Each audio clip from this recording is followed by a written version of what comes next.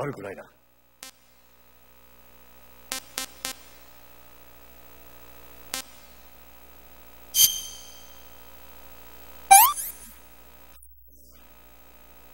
うまい。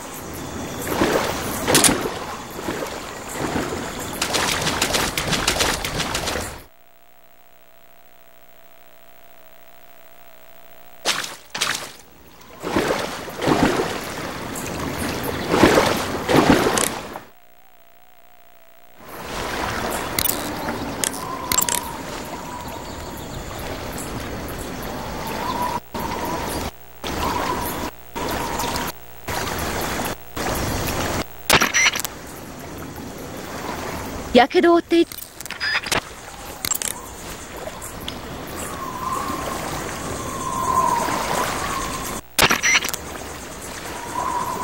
銀亀アジをキャプチャーしたみたいね。銀亀アジはアジの仲間よ。制御はサンゴ礁の周りで生活するけど小さい口は河口や河川の淡水域でも見られるわ。なるほど。で味は？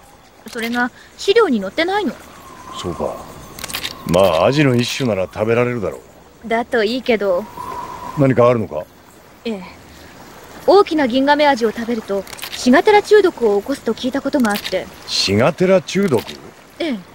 サンゴ礁の近くで暮らす魚の中にはシガテラ毒と呼ばれる毒が蓄積されている場合があるのよ。食べると食中毒を起こすらしいわ。じゃあ銀亀アジは食えないのか？そこの銀亀アジがシガテラ毒魚かどうかはわからないけどでも一応注意して。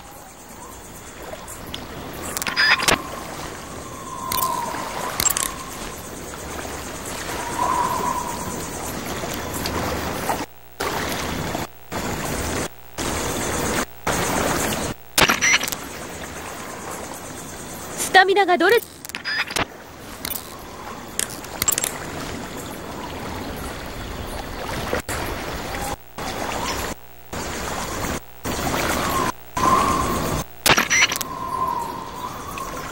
奴らフライングプラットフォームをと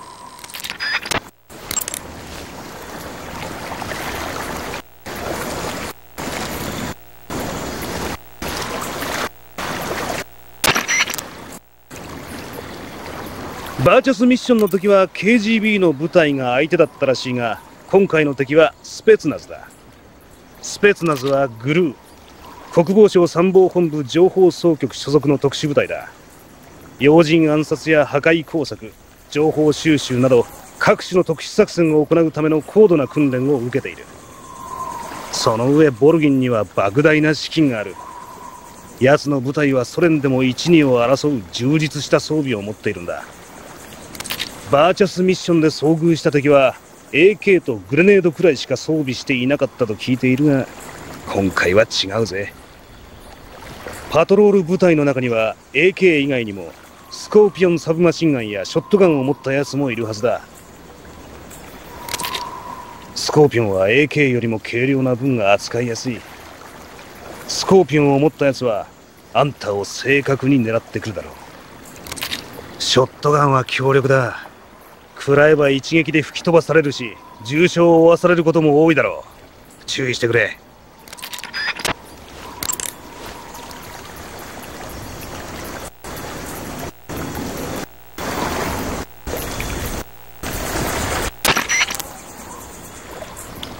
迷彩服を着てフェイスペイントをし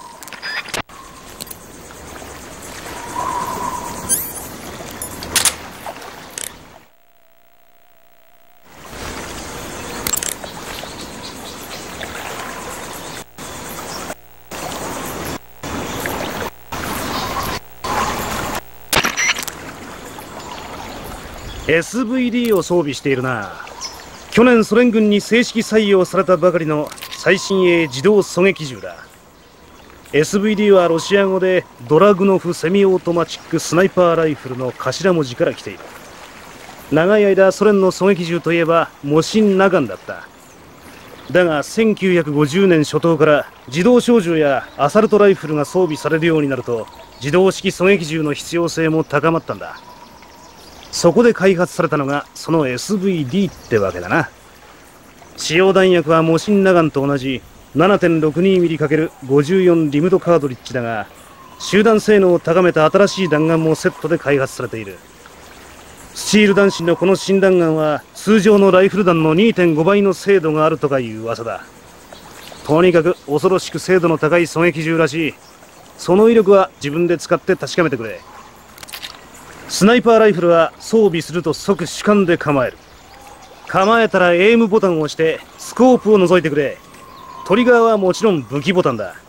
アクションボタンを押せばスコープの倍率を切り替えることもできるぞ。立った状態でも撃てるが匍匐して撃てばかなり手ぶれを抑えることができるはずだ。うまく使ってくれ。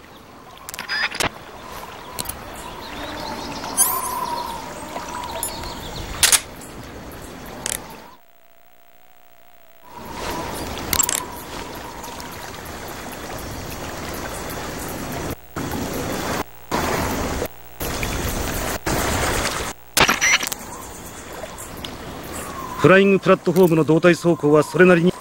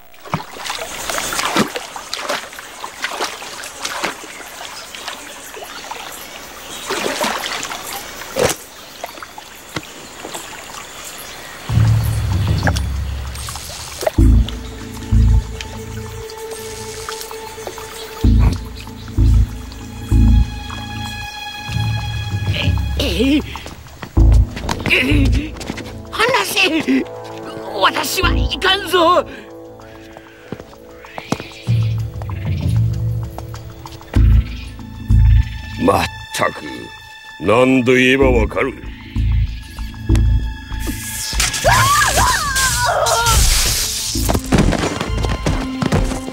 ダーニャはい。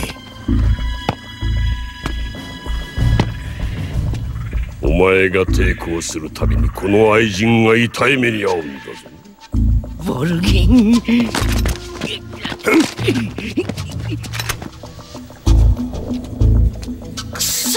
くそ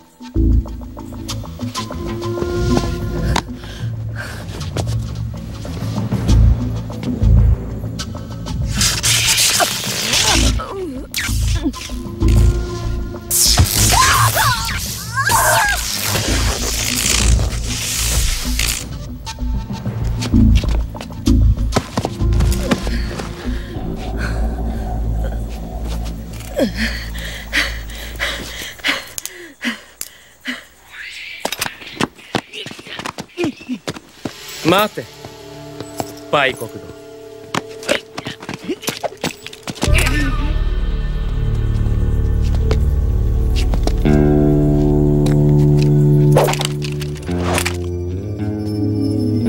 お前の運を試してやる。よく見ておけ。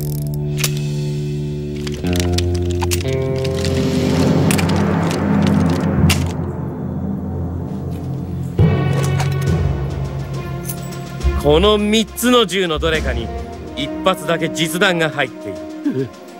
続けて6回トリガーを引く。いいか？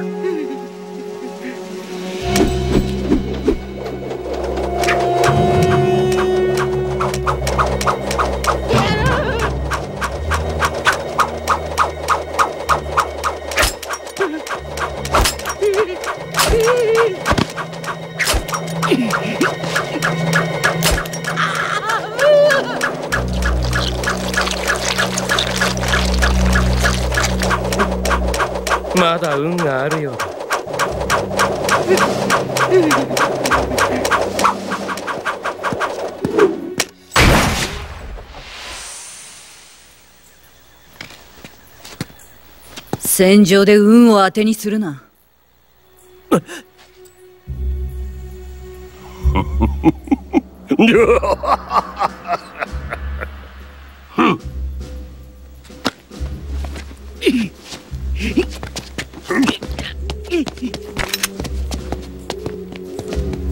勝手な真似はするな。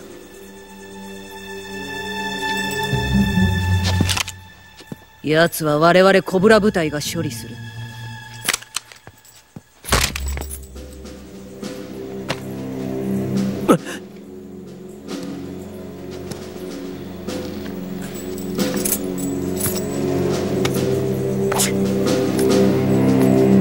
CIA の犬は片付いたのか？ザ・ペインがやられた。なんだそう？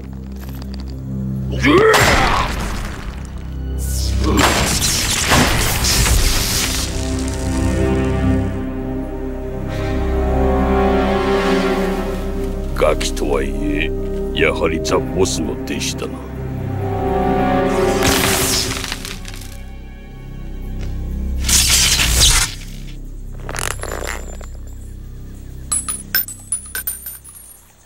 ルシチョフが裏で手を引いているかもしれん。早い方がいい。最終試験の前に消してくれ。大丈夫だ。彼らに任せる。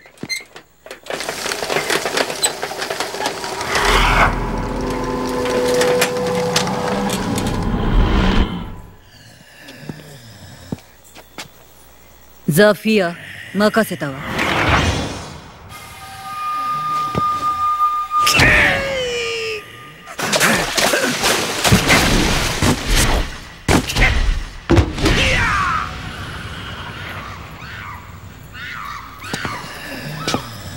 このじいさんずっと寝てるが大丈夫か？余命のエネルギーは戦場のみに使う。ジエンドは普段死んでいる。時が来れば目覚める。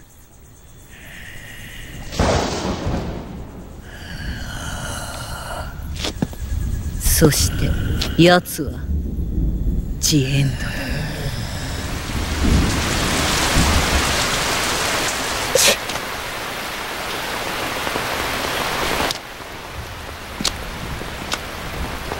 だ来いソコロフの愛人雨が上がるまで私を楽しませる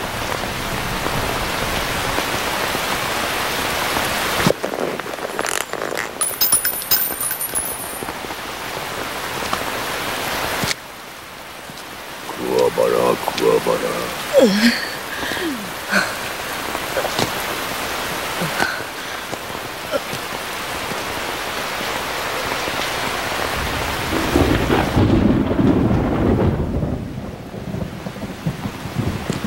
ザ・ソロいるの？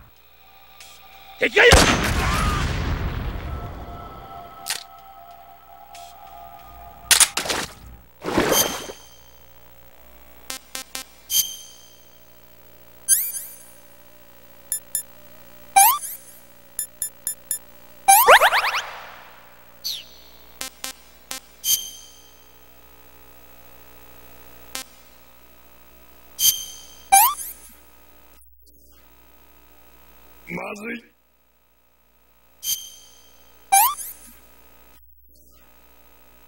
満腹だ。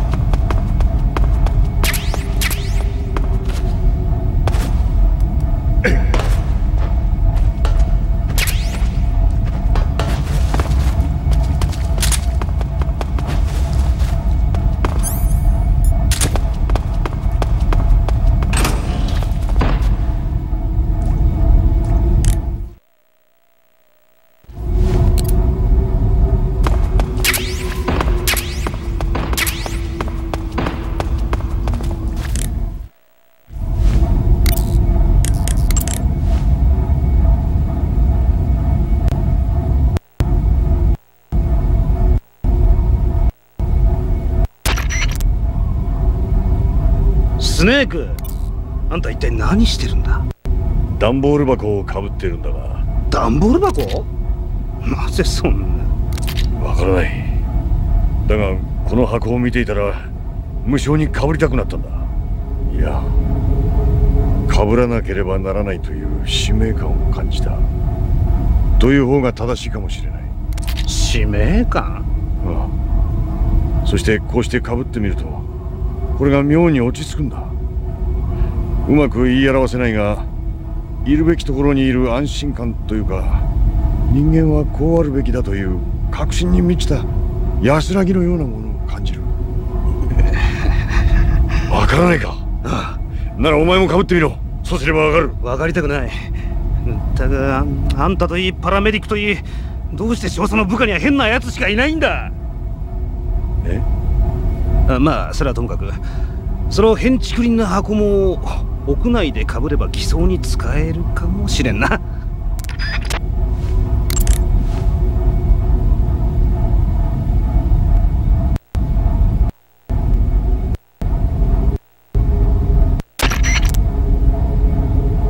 あんたの任務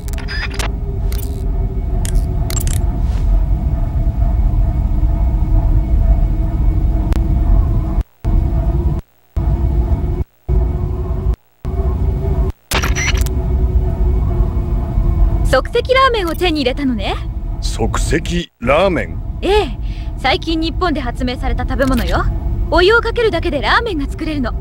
安くて保存性も高くてその上美味しい。まさに魔法のラーメンね。なるほど。ところでスネー。クなんだ？それ食べる？そのつもりだが？そ食べちゃいけないのか？うそういうわけじゃないけど。じゃあ何なんだ？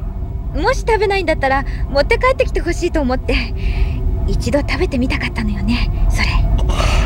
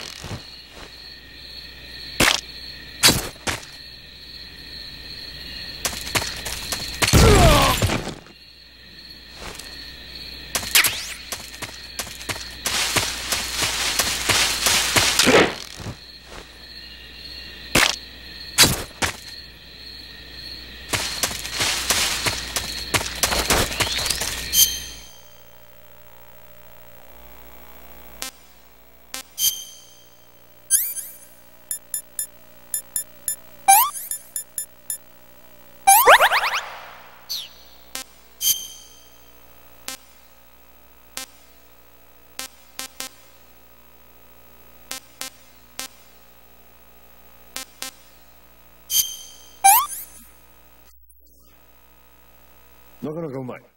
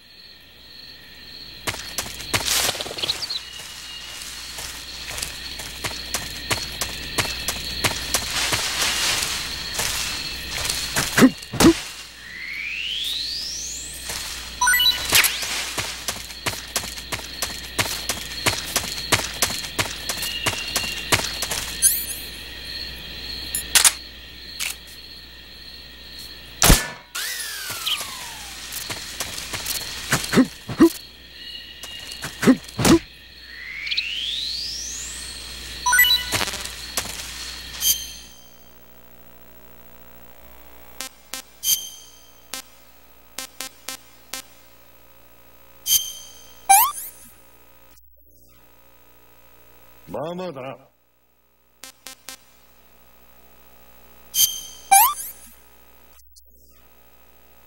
うん。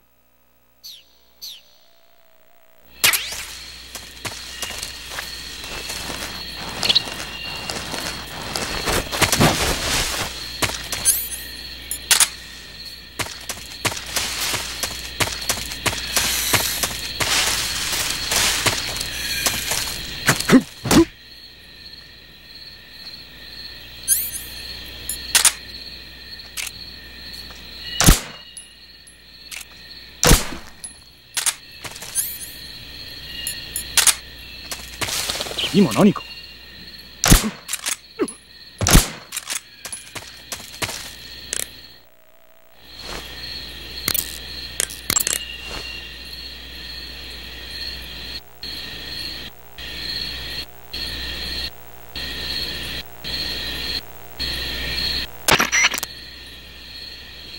軍用犬がいるの？その軍用犬はグレートデンね。原産はドイツ。昔から狩猟犬として用いられてきた犬種よ。見た通りとても大きな犬で力も強いの。性格は勇敢で冷静。その上とても賢いわ。訓練を受けたグレートデンは場合によっては人間より危険よ。気をつけて。わかったダメよ何が？食べてみようとか考えたでしょ。俺は何も嘘。そんな顔してた。見えないだろう見えなくてもわかるの。とにかく、軍用犬をキャプチャーしようなんて考えないでね。聞こえた？ああ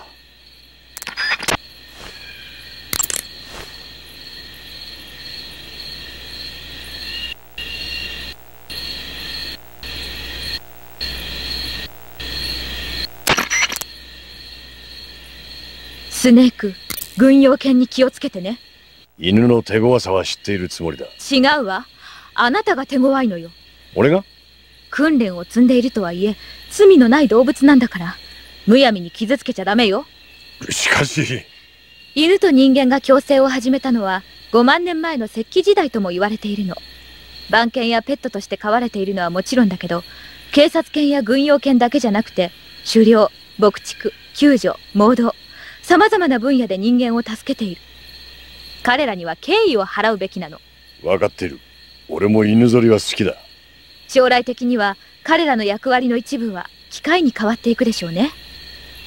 小型無人偵察機やセキュリティシステム、それに21世紀にはペット用の犬型ロボットが売られるわよ。まさかそうなっても彼らが人間にとって大事なパートナーであることには変わりないわ。無人偵察機なんてものができたら厄介だな当分は訓練された犬の方が優秀でしょうけど。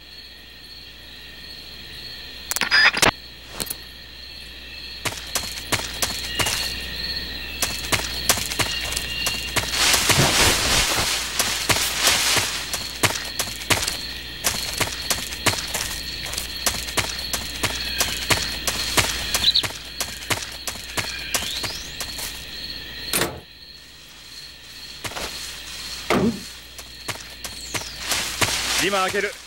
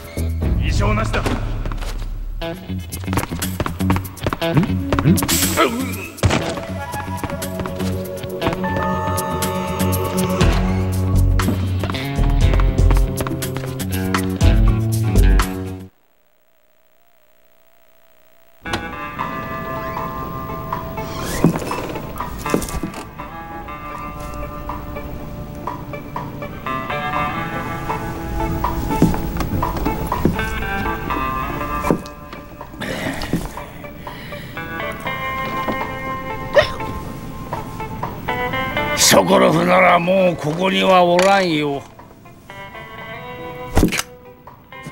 ぶつからものを出すな。酒がまずくなるだろうが。あんた例の侵入者だろさすがは資本主義の犬。人間の礼儀を知らん。お前は？私を知らんのか？それでよくエージェントが務まるな。まあいい。私はアレクサンドル・レオノビッチ・グラーニ。一言で言って偉大な男だ。我が連邦最高の兵器開発者であり栄光あるグラーニン設計局の局長でもある。レーニン勲章だ。最も優秀な労働者へ社会主義労働英雄の称号とともに贈られる最高の栄誉。私の輝かしい実績に対して授与されたものだ。偉大な共産主義社会建設のため私は大戦中からさまざまな兵器を作り出してきた。下劣なナチどもを追い散らすことができたのも私のおかげと言っていい今お前らが SS1C と呼んで恐れおののいている道路移動型弾道ミサイルシステムの基礎を作ったのも私なのだぞ。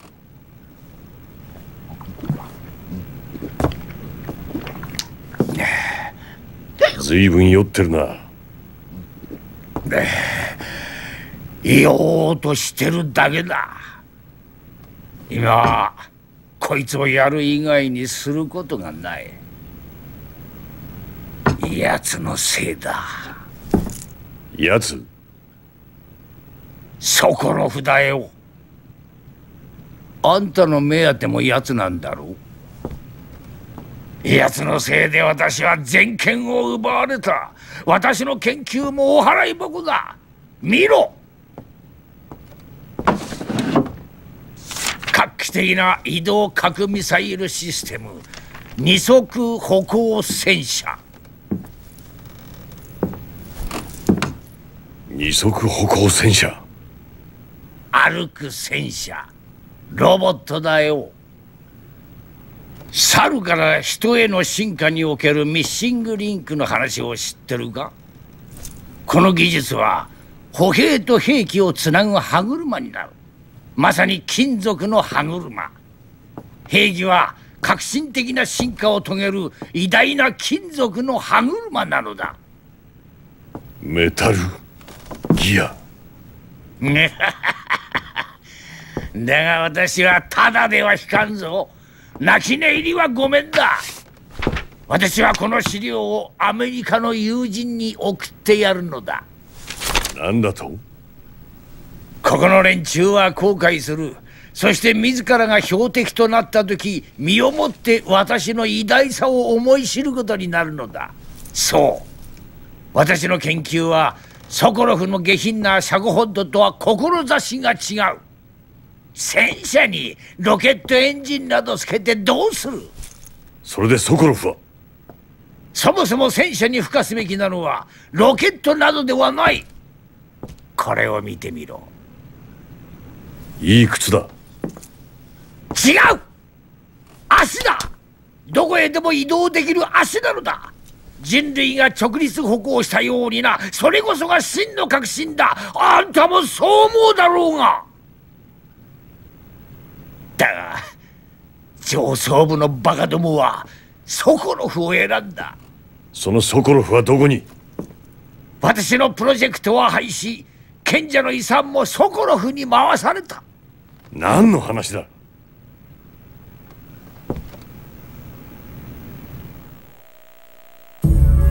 賢者の遺産だ。あんた賢者たちを知らんのか？大佐はその莫大な遺産を引き継いだのだ。ボルギンの親父が賢者たちのマネーロンダリングを担当していた。奴の親父は大戦後のどさくさに紛れてそれらの遺産をいただいた。ボルギンはそれを違法に相続したんだ。軍の予算など取るに足らん。この設計局のあらゆる兵器開発費は全てその大佐の懐から出ているここで生まれた数々の兵器が遺伝子となってやがて人類の戦争の形を変えていくだろう。私の研究資金もその遺産から出ていた。出ていたんだ金も人員も全てシャゴホッドに回されいよいよ明日最終試験だ。ソコロフがボルギンの本拠地大要塞グロズニーグラードの兵器省で最終調整している間私はここで敵のスパイ相手に酒を飲むしかない。ソコロフはそこに移されたのか？ああ。シャゴホッドもそこにあるんだな。そうだおいグロズニーグラードへ行く気か。あの要塞は文字通り鉄壁だ。だろうな。死ぬぞ。そのつもりはない。待て。なんだ。人の話を聞け。手を貸してやろうと言うんだよ。なんだって？褒めてくれた礼だ。俺が何を褒めた？靴だ。立ち穴にもらったこの靴を褒めてくれた礼だよ。要塞への侵入ルートを教えてやる。その代わり必ず奴を連れ出しシャゴホッドを破壊してくれ。グロズニーグラードの下には地下壕が張り巡らされている。それをうまく使えば内部へ潜り込めるはずだ。山岳地帯に行くといい。地下壕への入り口がある。こいつをやろう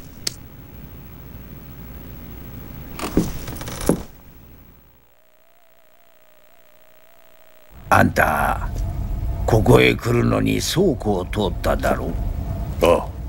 そこに鍵がかかった扉があったはずだ。覚えているか？これを使えばその扉が開けられる。その向こうは広大な密林だ。その一番奥から山岳地帯へ登ることができる。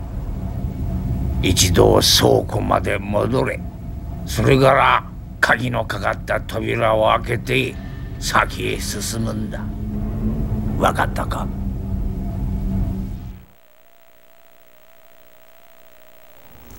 なぜ俺に協力を？私はソコロフのように亡命を考えたことなど一度もない。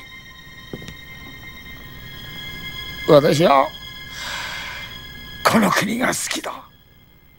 この土地を愛しておる。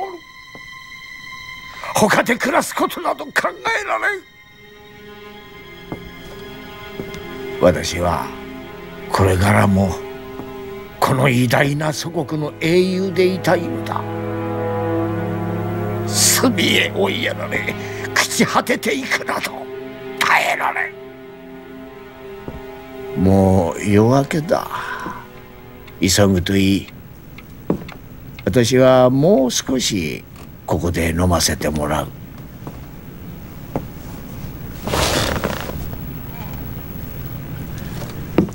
資本主義に Thank you.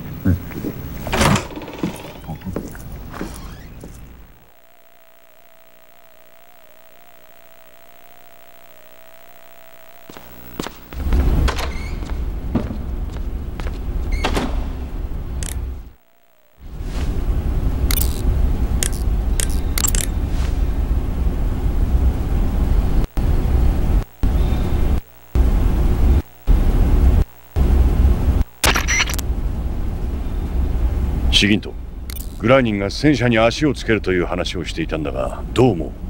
一言で言うならただの冗談だ。二足歩行そのものが技術的に恐ろしく難しいってこともあるがそれ以前に足を使って歩かせる意味がない。戦車に足をつければその分車高が高くなって全面投影面積が大きくなるし安定性も悪くなる。悪路を走破するために足が必要だってことらしいが それがそもそもよくわからない。無限軌道で十分だろう。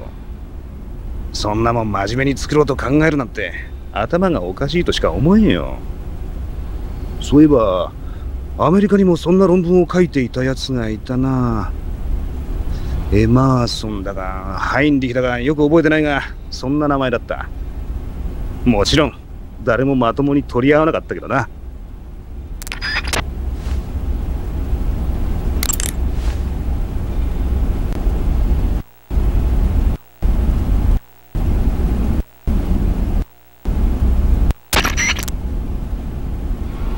シギント。グラーニンが言うにはソコロフの研究は戦車にロケットを搭載するものらしいんだがあどういうものかわかるか？あ悪いが見当もつかない。そうか。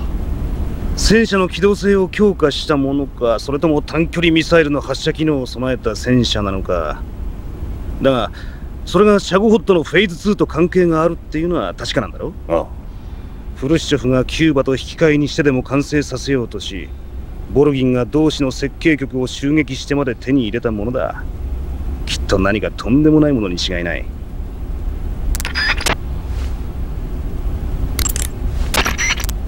シギントグラーニンの言っていた賢者の遺産とかいうものについて何か知ってるか？いや悪いがそんな高等無形な話聞いたこともない。そうか。だがボルギンが出所不明の莫大な資金を持っていることは確かだ賢者の遺産本当にあるのかもしれないな。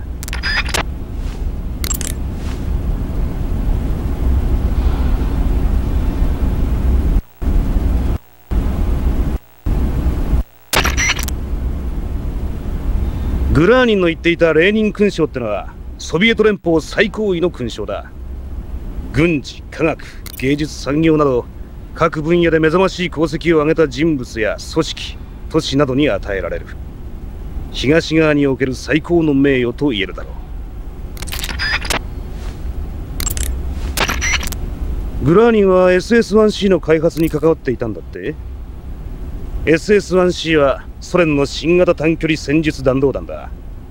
西側諜報機関が掴んでいるところによれば移動式のプラットフォームから発射できるらしい。移動式のプラットフォーム？ああ輸送車兼用の起立発射機だ。道路を移動しその場でミサイルを起立し発射できる。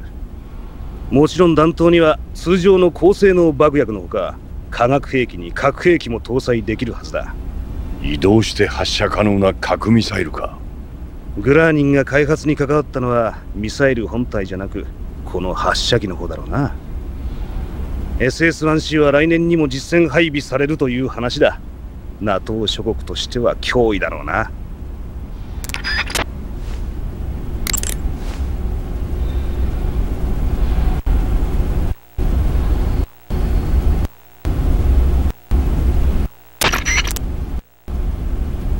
タバコ型麻酔ガス銃を手に入れたようだなタバコ型麻酔ガス銃は見た通りタバコの形に偽装した麻酔ガス銃だグラーニンの研究所で KGB のスパイ用に試作していたものだろうな。装備して武器ボタンを押せば麻酔ガスを射出する。射程は短いがガスを吹きつけられた敵はその場で意識を失うはずだ。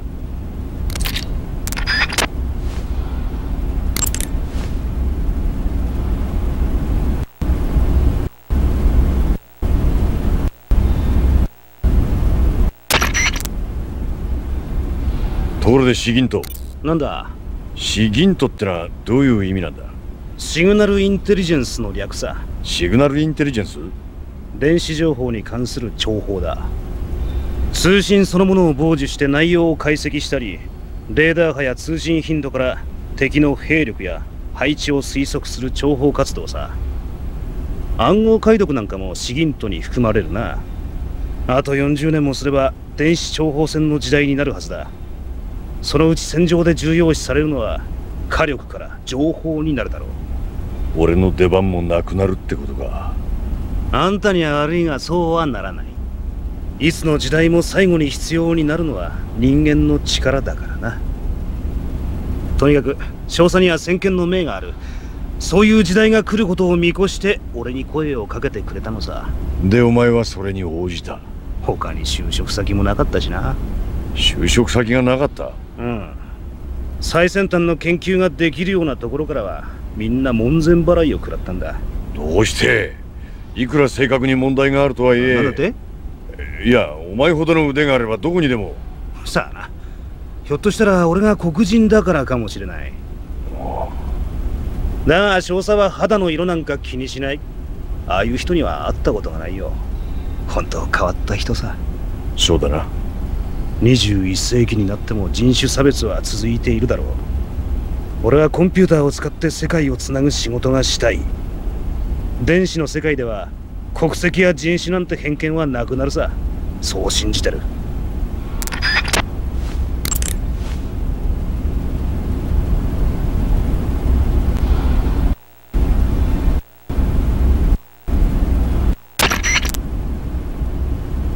胴体探知機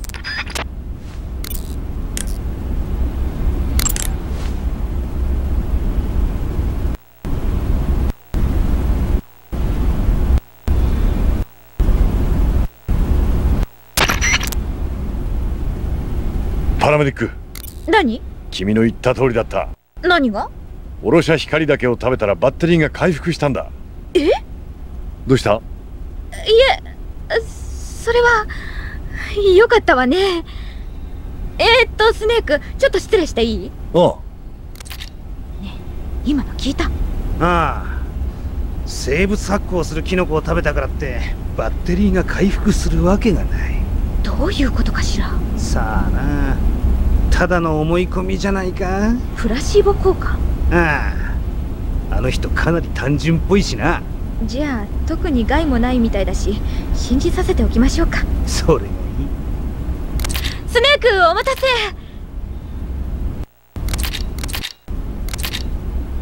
おろしゃ光だけは光るキノコだから食べたらバッテリーが回復するわよ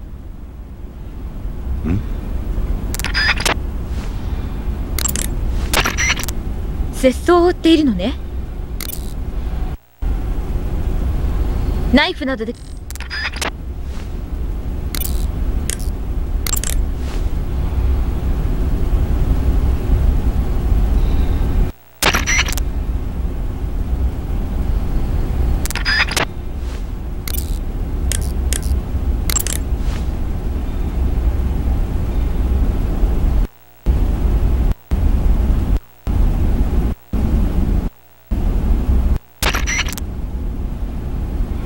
少佐ソコロフはすでに要塞へ移されたらしい。だがそれはグラーリンがそう言っていたということだろう。彼が欺瞞情報を流したという可能性も。いや嘘ではない。そう言い切る根拠は？俺の勘だ。信じよう。グラーリンによれば倉庫の先の密林を進めばその奥から山岳地帯に出られるということだったな。ああ山岳に登れば山頂近くからグロズニーグラードの地下壕へ入れるらしいまずは倉庫まで戻れ。グラーニンから渡された鍵で扉を開け密林へ出るんだ。扉の位置は分かっているな。水路から来た時に通った扉のすぐ北だ。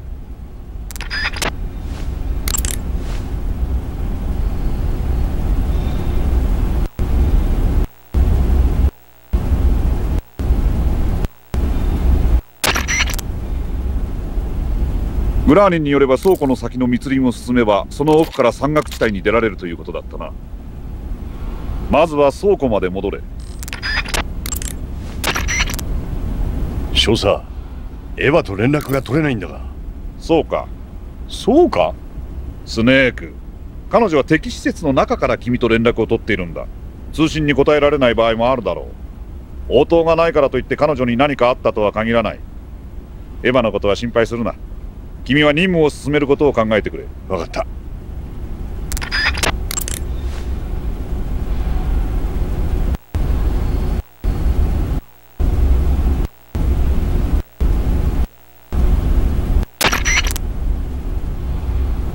少佐宇宙開発競争について教えてくれ。1957年にソ連は人工衛星スプートニク1号の打ち上げに成功。ソ連に先鞭を打たれたアメリカ政府は後を追うように宇宙開発に力を入れた。翌年には各軍個別に行われていた宇宙開発事業を統合。アメリカ航空宇宙局 NASA を設立することになる。同年有人宇宙飛行を目的としたマーキュリー計画が打ち立てられ陸海軍から7人の宇宙飛行士候補者ライトスタッフが選抜された。だが君も知っての通り今から3年前に初の有人宇宙飛行を成し遂げたのはソビエトのユーリ・ガガーリンだ。NASA が弾道飛行に成功したのはガガーリンの1ヶ月後アラン・シェパードの登場したフリーダム7だった。その後軌道飛行においても遅れを取ったことでケネディ大統領は大いなる決意をしたな。60年代のうちに人類は月に行くと。その演説なら俺も知っている。だが俺の周りでは反対意見も多かった。宇宙基地の破壊工作任務などあてがわれたらたまらんとな。だがロケット開発はミサイル開発にも通じるぞ。想像してみろ。ソ連の月面基地からワシントンに無数の核ミサイルが降り注ぐことを。それが実現するのはまだ先の話だとしてもだ。後手に回っては取り返しのつかないことになる。一歩ずつ確実に踏み出していかなければならん。一昨年前に開始されたジェミニ計画は月面着陸への前準備といったところだ。とはいえケネディ元大統領を否定する気はないが私にはあと6年で人類が月に到達するなど想像できんよ。どうだろうな。俺は人間が宇宙に行けるとすら思っていなかった。あとは成し遂げるまでの意志の強さの問題だ。そうかもしれんな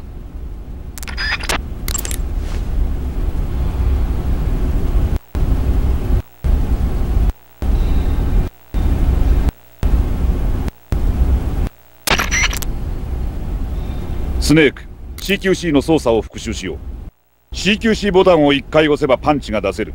そのままボタンを連打すればコンボを繰り出すこともできるぞ。だが CQC の進化は敵を掴んでからにある。CQC ボタンを離さず押しっぱなしにすれば右手で敵を捕まえる。同時に左スティックを入力していれば敵を地面に叩きつけることができるだろう。左スティックを入力していなければそのまま敵の背後に回り込み拘束することが可能だ。背後から拘束すれば敵をほぼ完全に無力化できる。この状態からは様々なアクションへの移行が可能だ。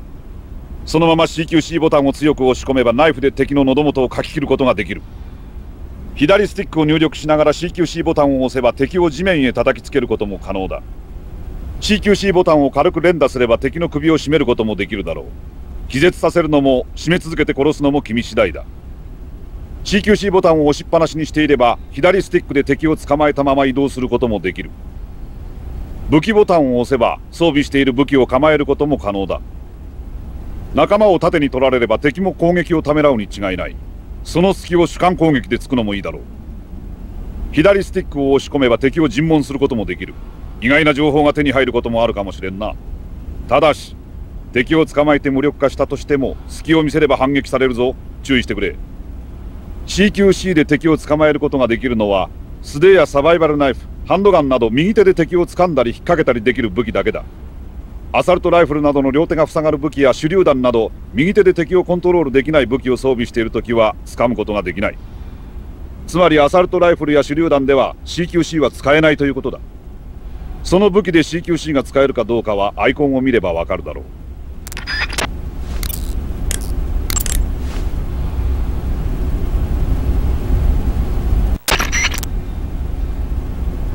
スネークセーブ？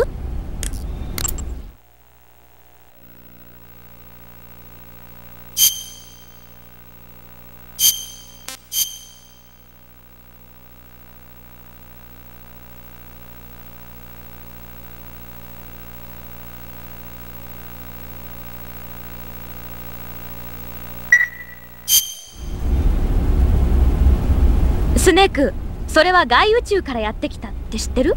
ああ前に聞いた。天文学者が目撃した隕石が実はエイリアンの宇宙船だったの。彼らは町の住人を密かに分身とすり替えて宇宙船の修理を手伝わせる。